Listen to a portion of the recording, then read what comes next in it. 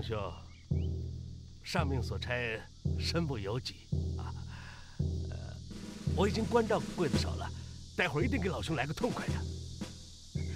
老兄放心，日后老兄忌日何某猪头三生，一定会有一份心意的啊。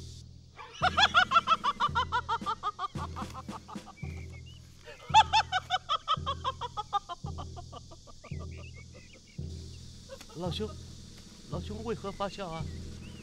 我笑我王某，虽然落到如此地步，可总算死后有人惦记。不知何大人将来有了今日，给你烧纸的又会是谁呢？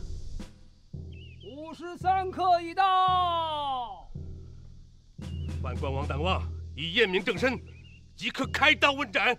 何大人，我王某就先走一步了。难得何大人有情有义，我王某投桃报李，在阎王面前先给何大人占个好位置。我阴间等你，我阴间等着你。斩斩！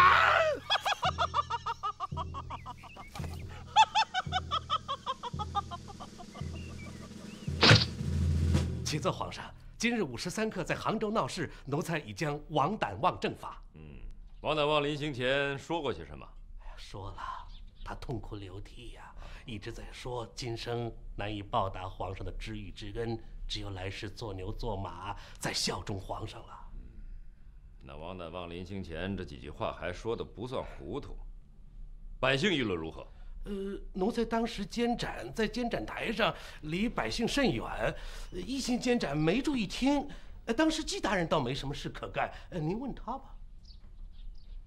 好，启奏皇上，杭州百姓欢呼雀跃，他们说皇上此举大快人心，可喜可贺。可喜可贺，依朕看是可悲可叹。朕杀的可是他们的父母官呐！皇上说的是呀。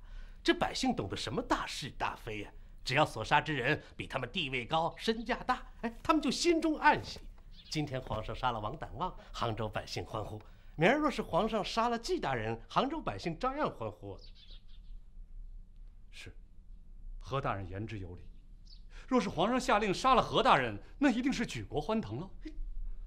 这也不是百姓的错，水可以载舟，亦可覆舟啊。皇上圣明。朕今天心情不好，不想听你们说了。你们要没什么话，就先退下去吧。臣告退。